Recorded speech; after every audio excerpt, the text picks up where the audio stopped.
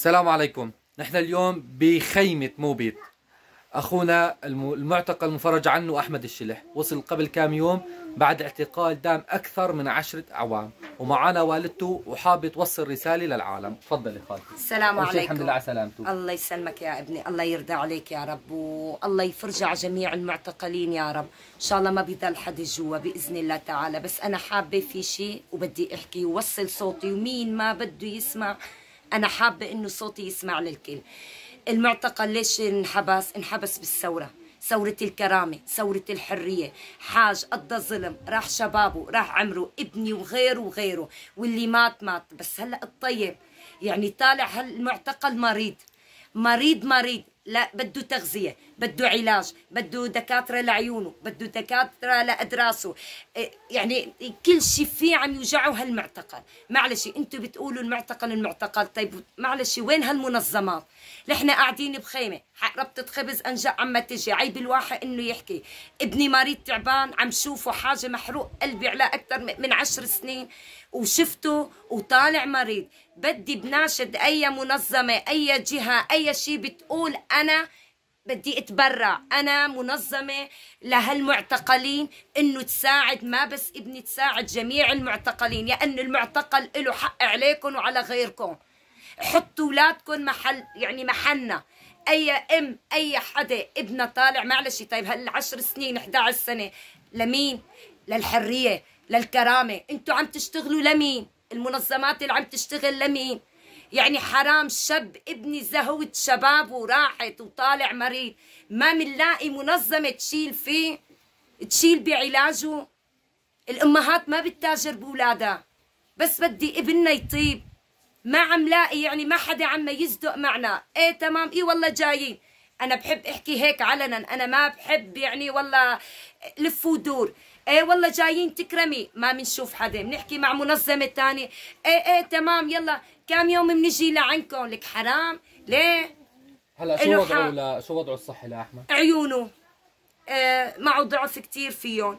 عنده اسنانه كلهم. الفك التحتاني والفوقاني اكتريته عم يطلع فيهم تقرحات ودم عم بكب من لصص الإله. هذا الليل ما عم بينيموه غير الوجع.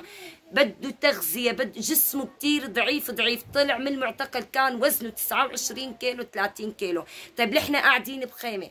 وفقيرين والفقر ما عيب بس الإنسان اللي بتحب تساعد هاي هي ال- يعني إنه ال- الكرامة هاي هي نفس الكرامة اللي بتحب تساعد الإنسان.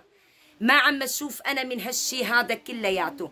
يعني بده تغذية بده دواء بده علاج له ولا لغيره لأي معتقل طالع.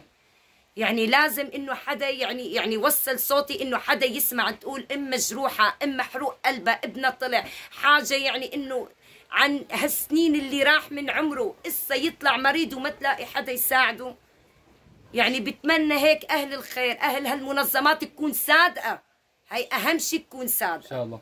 أبو حميد كيف جو الخيمة عليك؟ أنت طلعت من الاعتقال وجيت على جو خيمة، شلون جو الخيمة عليك؟ أختلف. ما اختلف عليه شيء كأني بحبس. كأنك بحبس، كأني بحبس. شلون الجو بالليل بالنهار؟ شو بحريق يعني ما دين ضيق ما يعني كأني قاعد بحبس. نعم. ما هيك ناوي تفرحي فيه؟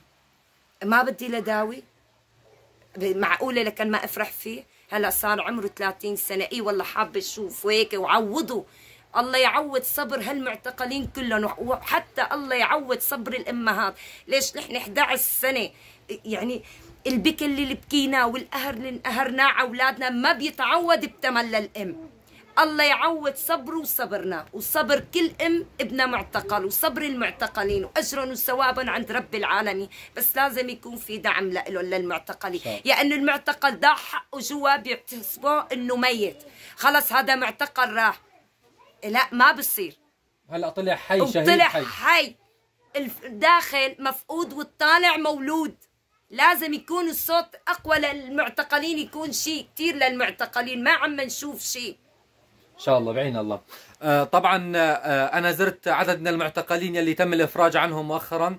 وضعه ما بيختلف شيء عن حال أخونا أحمد. كلهم بحاجة لمين يرعاهم ويساعدهم. اللي كان في مناطق ريف حلب الشمالي واللي كان في مناطق ادلب العديد من المعتقلين وصلوا إلى المناطق المحررة بحاجة إلى الجهات المسيطرة. اللي كان في الشمال واللي كان في هون إلى حكومتي الإنقاذ والمؤقتي وبحاجة إلى المنظمات وإلى كل من بيهتم بواقع المعتقلين بوضع المعتقلين والمنظمات الإنسانية وأيضا إلى أهل الخير أيضا.